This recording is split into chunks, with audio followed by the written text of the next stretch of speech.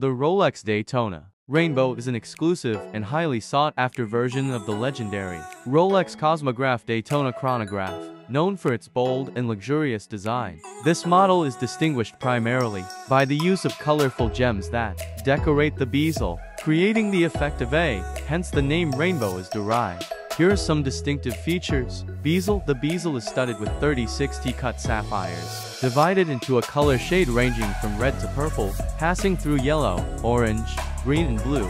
Dial The black or gold dial features hour indices replaced by set diamonds. Case and bracelet The 40mm case is available in yellow, white or Everose gold pink gold, and is paired with a precious metal oyster bracelet.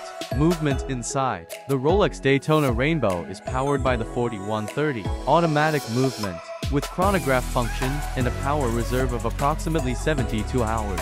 Luxurious, the chronographic buttons and crown are also decorated with diamonds for an added touch of elegance.